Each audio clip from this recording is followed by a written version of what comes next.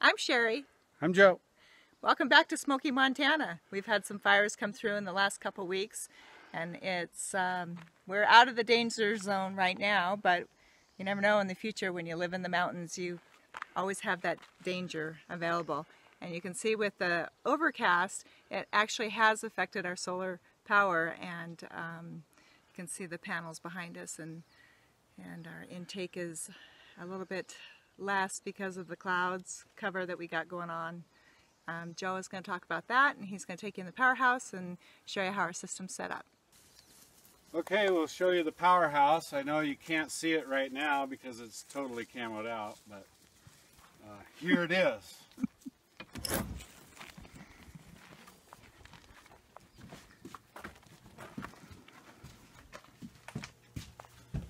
You come in and here's where you have it all set up. We had uh, a system from Backwoods Solar. Um, we called them and they helped us with all of our load and everything and help us get the system that worked good for us. And everything comes in through this uh, combiner here and then comes down and uh, goes to this charge controller and then we have this mini magnum panel here that's a lot of the brains of the outfit and then we have a pure sine uh, inverter that changes all of our DC power uh, to AC power so that we can use it in the house. Uh, you can see here's our batteries. We have eight 6 volt batteries for a 48 volt system and they're a, a flooded battery. Um, it's important that you keep the water level above the plates that are in there. If it gets below the plates, they'll cause corrosion and shorten the life of the battery. It's also important that you use a hydrometer and regularly check each and every one of these cells and and see where they're reading at. And when I was taking my readings earlier today, um, most of these batteries were reading around 1280 I had a couple of them that are down around 1260. So once we get beyond a bulk charge today, if we do with the clouds and the smoke, uh, we'll do an equalizer charge and that will help uh, equalize all them cells. It's got to be pretty much to a full charge before you do that. And then it basically kind of overcharges them and, and kind of uh, gets them to be a little more equal. Leslie called the equalizer charge.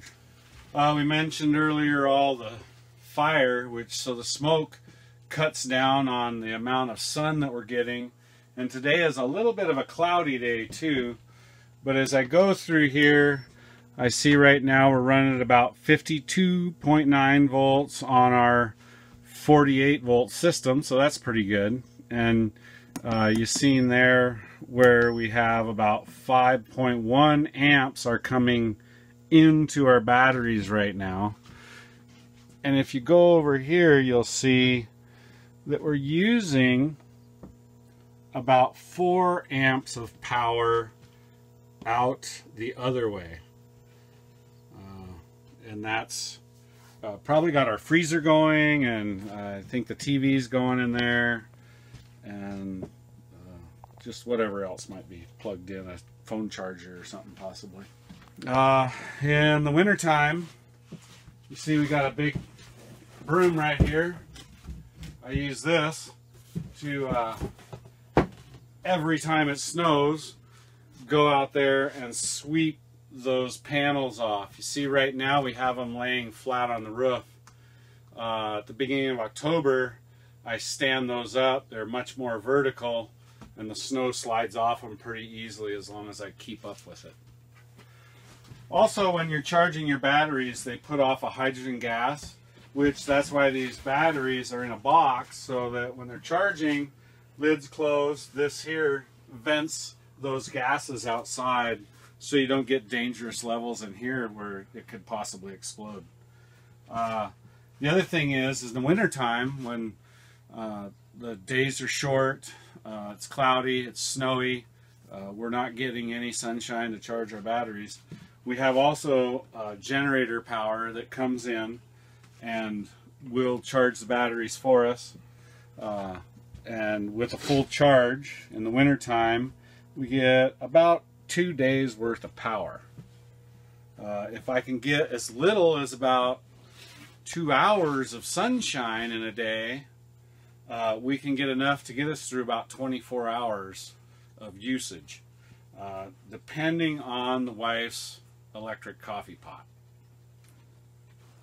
And here's a little shelter just outside the powerhouse that we built for the generator so it can stay dry and uh, when it's raining and uh, keep the snow off it in the wintertime. Uh, it's 5,000 watt generator.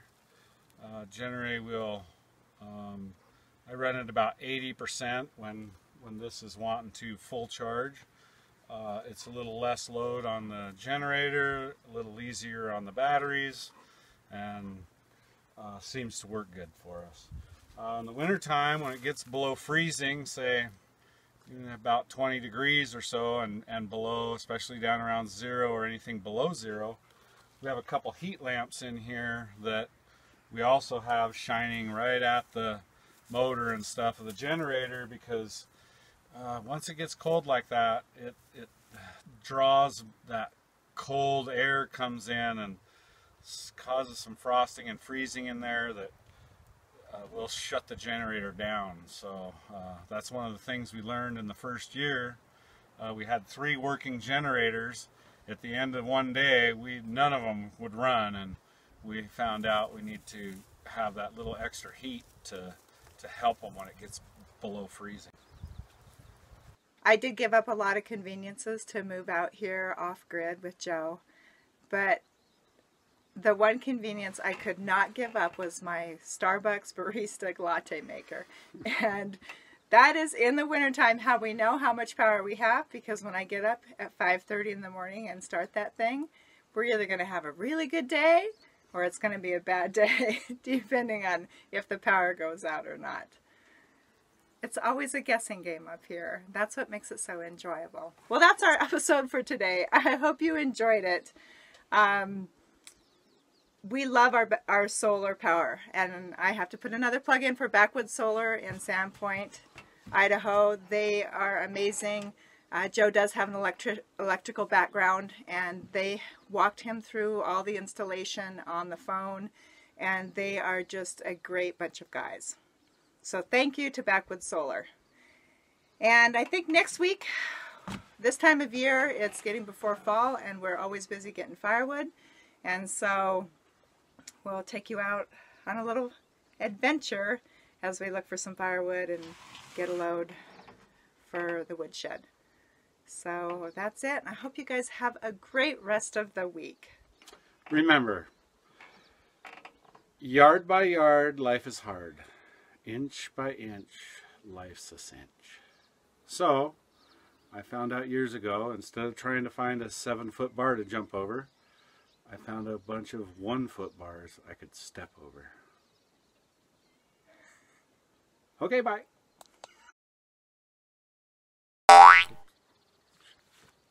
Is it going? Oh, look. Be steady. Take it. Tell me when. When? What do you mean when? There's something else I was supposed to talk about. Let's see. Um, the bees are going to attack me while I'm doing this. Okay. no, stop. Stop.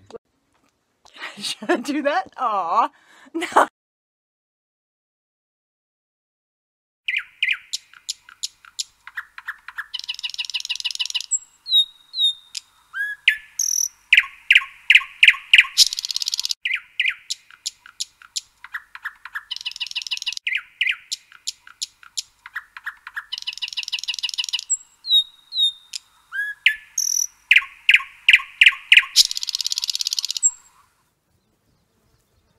Hey, chicken. Hey, chicken.